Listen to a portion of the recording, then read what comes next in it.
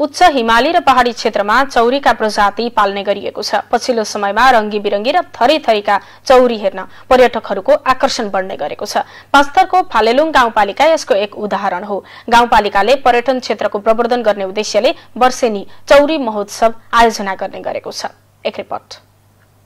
नेपाल भारतको सीमावर्ती क्षेत्र चार रातेमा नयाँ वर्षको अवसरमा चौरी महोत्सव भयो। समुद्र सतहबाट तीन हजार चार सय मिटर उचाइमा छैटौं चौरी महोत्सव आयोजना भएको हो। चौरी र याकको प्रदर्शनीसँगै चौरी र भेडाजन्य उत्पादनका स्टलको अवलोकन गर्न पर्यटकको घुइँचो थियो।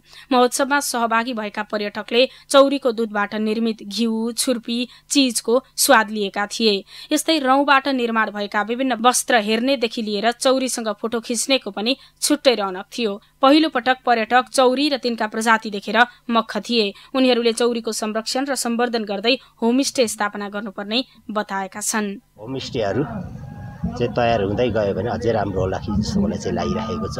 र यसमा यो अलिकति यो चौरी महोत्सवको कुराले गर्दाखेरि पनि यो चौरी पालनले पनि विशेष महत्त्व र संरक्षण गर्नुपर्ने अवस्था देखिन्छ यो चौरी भनेको त लगभग अब यो हाम्रो इलाम जिल्लामा त छँदै छैन। इलाम जिल्लाको यो यो स्थानहरू जस्तै सन्दकपुरतिर पनि अब देखिएन। अब पाँच थरको यो फालिलुङमा चाहिँ यो अत्यन्तै संरक्षित रूपमा राखिरहेको छ। यसलाई अझै बढावा र संरक्षण चाहिँ दिनुपर्ने। महोत्सवमा चौरीका सात प्रजाति प्रदर्शनीमा राखिएका थिए। चौरीकै दुधबाट बनेको खिर छुर्पी घिउ र चिजबाट बनेका परिकार खानेको भिड थियो। त्यस्तै चौरीको रौबाट बनेको टोपी बुर्का अवलोकन गर्नेको पनि उत्तिकै भिड थियो।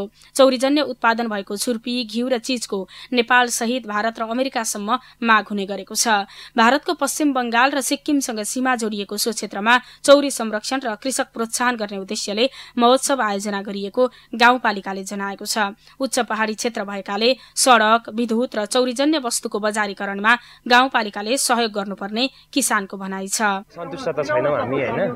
हालिलुङ गाउँपालिकाले अझै चौरी पालक कृषकहरूलाई चाहिँ अझै सेवा सुविधाहरू हाम्रो बजारीकरण खासै त्यति राम्रो नभएको होइन।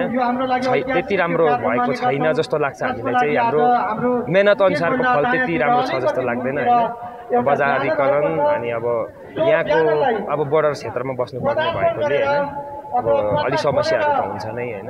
अब यातायातको सुविधा त्यति राम्रो छैन बत्तीको सुविधा त्यति राम्रो छैन होइन।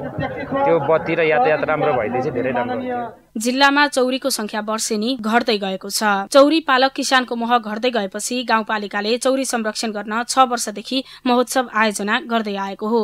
गाउँपालिकाको तीन सिमना चार राते फालोट र सन्दकपुर क्षेत्रमा चौरी पाल्ने गरिएको छ। भारतले विभिन्न गतिविधि गर्दै आफ्नो उपस्थिति बलियो बनाएका बेला नेपालले पनि चौरीको संरक्षण र बजारीकरणसँगै आफ्नो उपस्थिति बलियो बनाएको गाउँपालिका अध्यक्ष वीरविक्रम थामसुवाङले बताउनुभयो। चौरी संरक्षण गर्न बजेट विनियोजन गरी घाँस औषधि र उपचारको व्यवस्थापन गर्दै आएको गाउँपालिकाले जनाएको छ। गाउँपालिकाले उच्च पहाड़ी क्षेत्रमा सड़क सञ्जाल जोडेर चौरीको संरक्षण गर्न बजेट विनियोजन गरी घाँस औषधि र उपचारको व्यवस्थापन गर्दै आएको छ। सुरक्षाका हिसाबले अति संवेदनशील क्षेत्रमा आफ्नो उपस्थितिसँगै सड़क पूर्वाधार निर्माण र विद्युतको सहज पहुँचका लागि पहल गर्नुपर्ने आवश्यकता देखिएको छ।